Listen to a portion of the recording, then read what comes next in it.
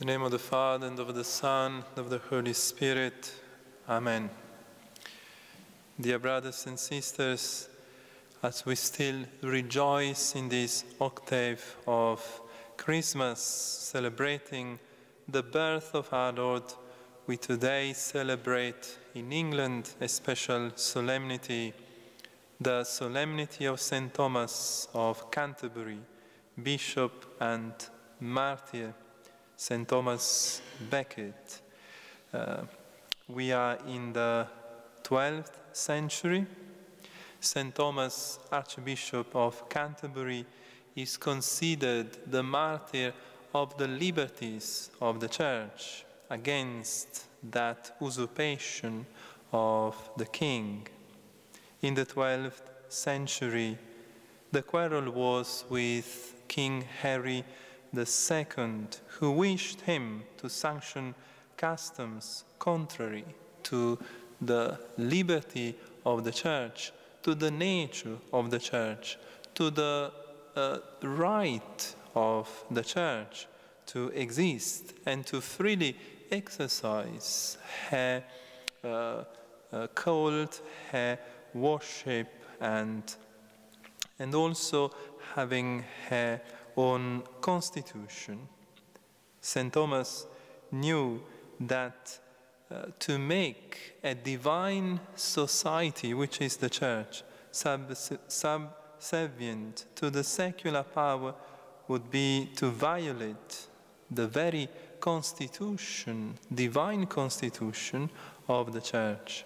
And therefore, as bishop, he would willingly suffer death in defense of the Church of Christ. He stood up and was, in fact, martyred for this. He was slain in his cathedral by the king's soldier on December 29, 1170.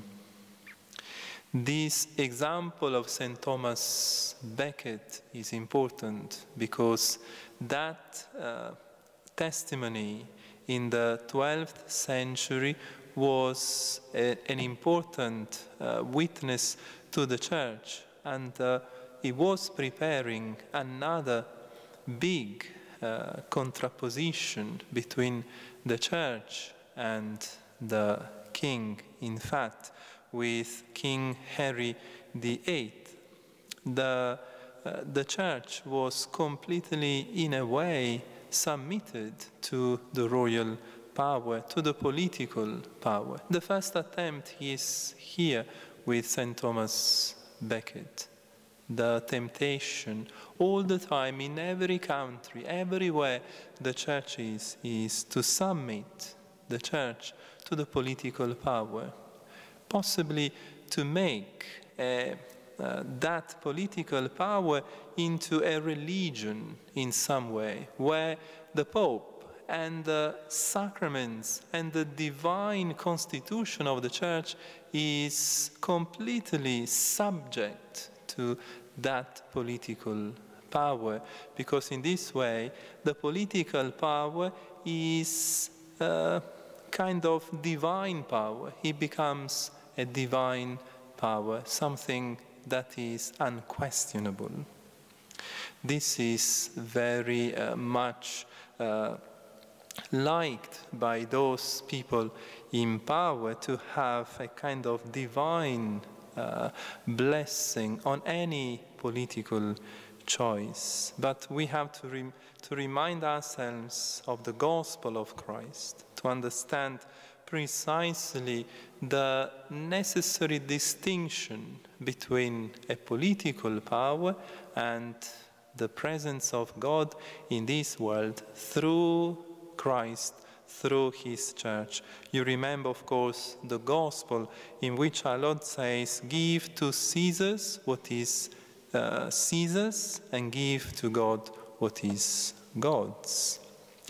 The point is to see Caesar and God as distinct, but same time in a hierarchical uh, ordination. First God, then Caesar.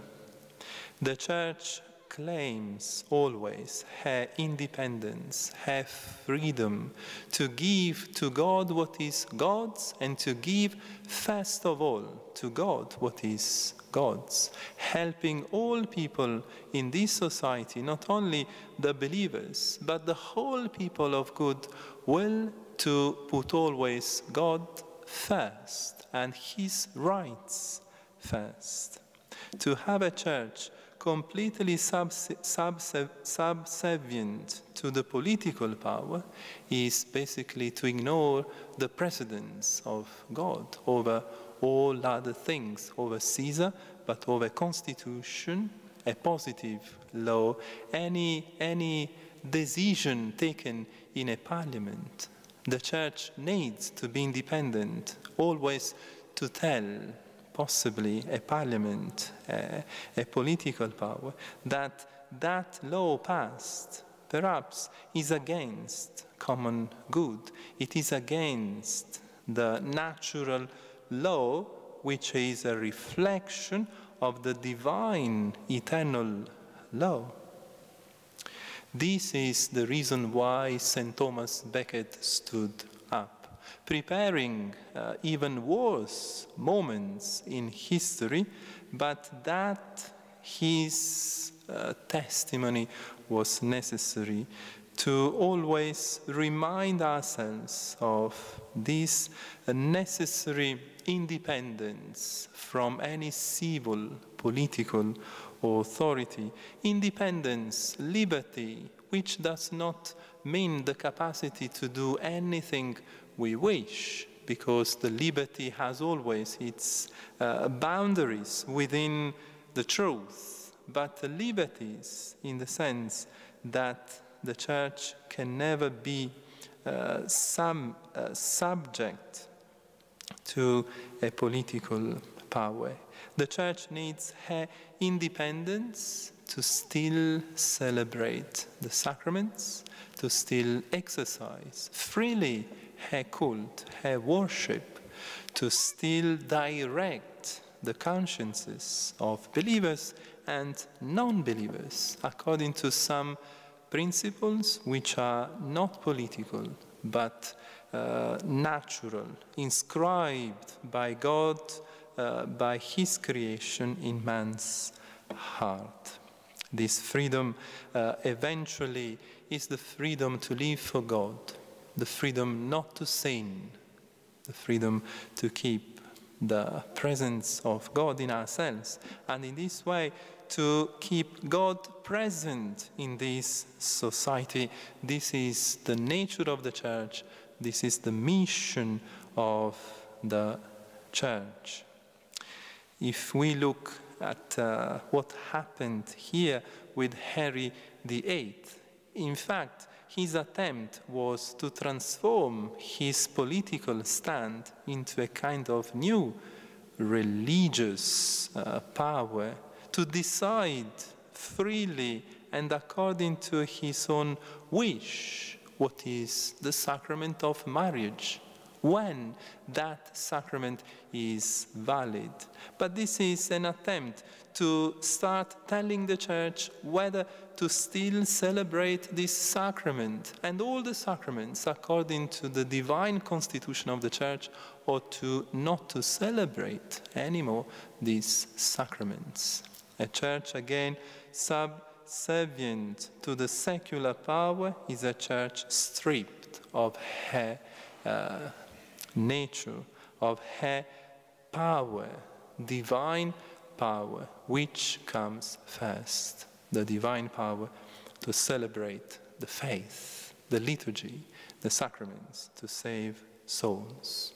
The mission of the church is not a political mission, but the only uh, reason for which the church does exist is to be in this world the visible, mystical body of Christ for the salvation of all souls. But for this mission, freedom is necessary. Freedom to say, God is always fast.